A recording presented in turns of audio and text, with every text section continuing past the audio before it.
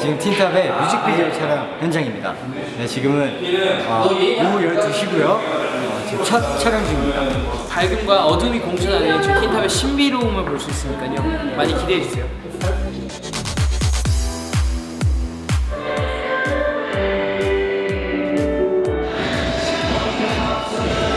어, 이번 저희 틴탑 앨범은 정말 다양한 곡들이 포함되어 있고 또 멤버들의 자작곡이 되게 많이 들어가 있어요. 그래서 들으시다 보면은 정말 팬분들을 위한 가사들과 이 아마 마음이 정말 전해질 것 같아가지고 많이 들었으면 좋겠고요. 저희 타이틀곡은 어, 또 저희 틴탑만의 느낌을 가지고 정말 이번에 멋지게 준비를 했으니까요. 아마 보시고 들으시면은 틴탑의 색깔을 어, 제대로 느낄 수 있으실 겁니다.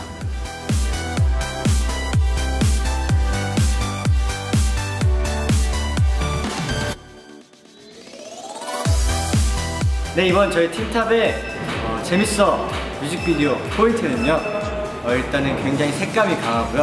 어, 패션 화보 같은 그런 컬러감이 돋보이는 뮤직비디오입니다. 네, 그리고 멤버마다 개성 있게 다르게 표현했으니까요. 그 점을 어, 자세히 보면서 보시면 더 재밌을 것 같습니다.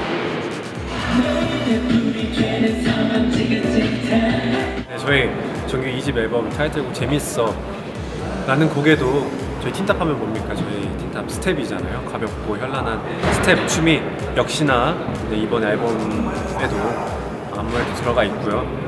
어, 일명 히얼 스텝이라고 하는 춤입니다. 여러분들이 같이 따라하면 좋을 키웠을 때 보여드리겠습니다.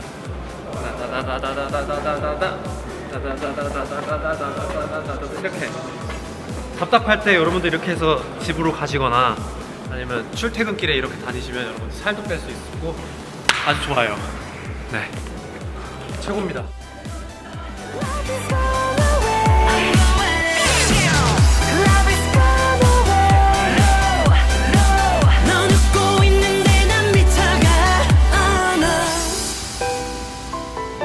탑의 재미있어 뮤직비디오가 드디어 끝났습니다. 어, 이틀 동안 정말 새벽에 이렇게 같이 고생해주신 저희 촬영 스태프분들과 우리 스태프 누나님들 너무 고맙고 또 멤버들과 함께 오랜만에 이렇게 같이 뮤직비디오를 찍게 됐는데 아, 너무 재밌었어요. 너무 재밌었고 역시 멤버들이었어야 활기가 차고 또 웃음이 끊이질 않는 것 같습니다. 어, 저희 재미있어 뮤직비디오 많이 사랑해 주시고 어, 많이 기대해 주세요.